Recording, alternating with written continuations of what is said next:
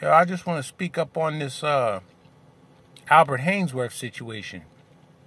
If you don't know, he's a former NFL player, played at the University of Tennessee, then for the Titans, and then he signed with the Redskins for all this money and basically took the money and just didn't want to play anymore. Basically, you know, kind of quit on himself. So, and now he's got these kidney problems, and he needs a black woman to donate a kidney to him.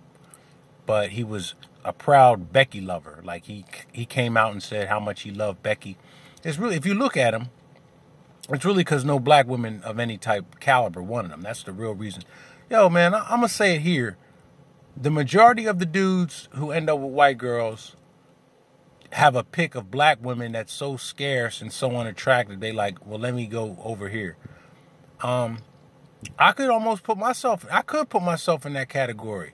It's just me personally, I can't do it, or you can say I won't do it.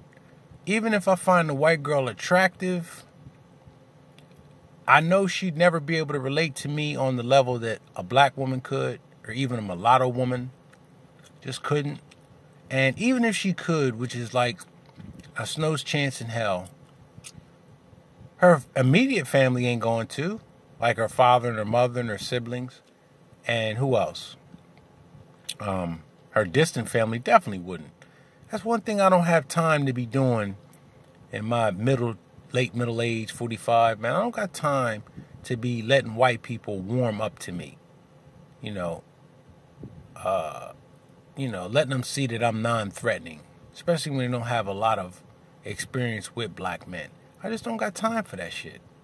But, you know, karma's a bitch. That kind of tells you who you need to be fucking with and who you don't need to be fucking with.